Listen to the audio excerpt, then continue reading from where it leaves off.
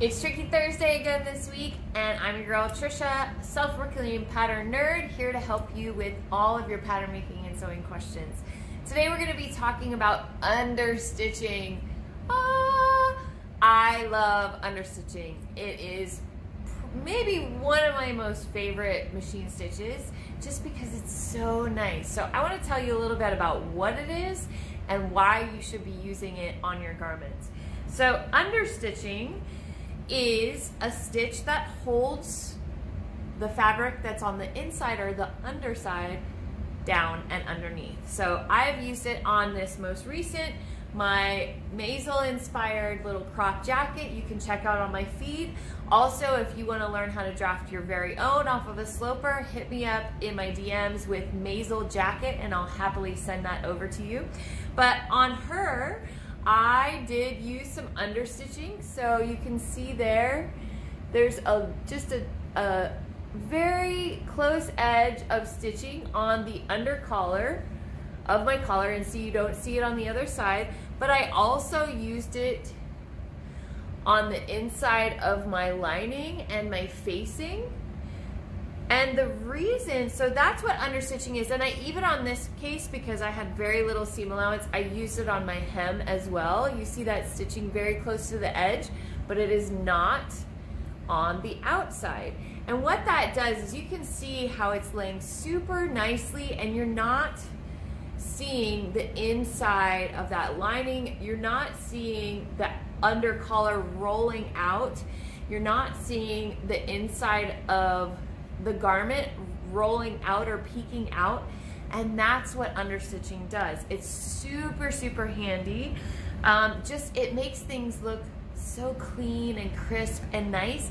And honestly, it's super, super easy to do. Even if your pattern doesn't call for it or if you're drafting your own pattern, it's really easy to just add it in as you're sewing.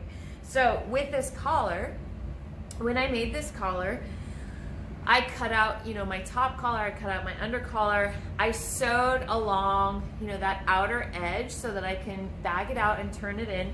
When I did that, before I attached it between the outer and the lining here, I understitched while this seam was still open and I can get inside. I understitched along this edge and as far as I could get, just as far as you can get on this edge as well. Um, and that really helps you keep it in place. Same thing when I added my facing. I added my facing and then before I touched the lining and closed it all off so I could still get in there, I opened up the edge and did my understitching. I'm gonna go take you over to the machine and show you a little bit more in depth instead of just explaining it. But I will tell you, if you haven't discovered the wonderful world of understitching and how easy it makes everything look so flawlessly and perfect, you're definitely gonna wanna check it out. So let's go to the machine and I'm gonna show you exactly how to do an understitch and you're gonna start using it because it's pretty cool. I want to show you about understitching. So if this was a collar, this is just some fabric that I had, but if this was a collar and I was sewing this, let's say I am stitching down this side and this side and I was going to flip it out to be say a collar or something. So I'm going to stitch it like I normally would with right sides together.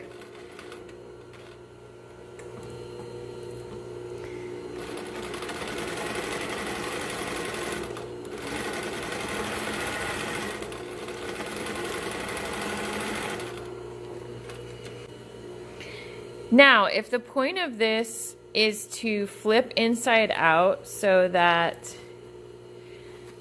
you know, that is the outside and what it looks like, first of all, you would want to trim and clip your corner here.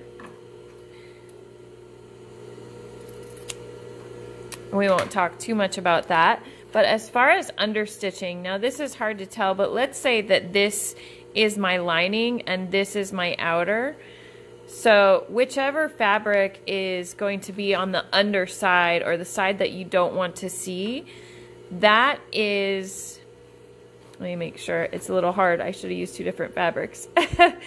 but um, I'm just going to do this. This marks my under fabric. So whichever fabric is going to be on the inside or the underneath, you want to, you're just going to kind of edge stitch or go very closely to that original stitch there and put a stitch that's like an edge stitch or a top stitch on that underside. So we are under stitching is what we're doing. And I'll show you what this looks like. And you just go, it's going to get a little tricky as you get closer to that corner. But just as you go along, you want to make sure your seam allowance is pushed towards that way that you're stitching. And just continue to stitch as far as you can to get into that corner. And it does get a little tricky as you get closer to the corner and you're not going to be able to go all the way.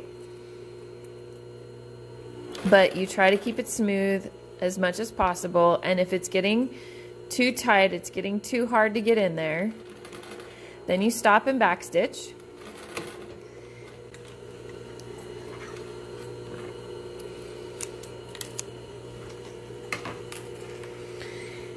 And what happens, and you can trim, at this point you can trim this seam allowance, but when you flip it out the right way, this see it's a, just a little tiny top stitch on the underside of like if this was a collar or the inside of your lining or facing. And then on the outside it's nice and clean and smooth. And now I have too much seam allowance in there. I would definitely cut some of that out. But that is understitching and you can see it just keeps that seam allowance and that under fabric underneath and makes the top or the outer look very clean and smooth. And then I would do the same thing in here. See how this underside is trying to roll out right now? But let's understitch that really fast and you can see the difference.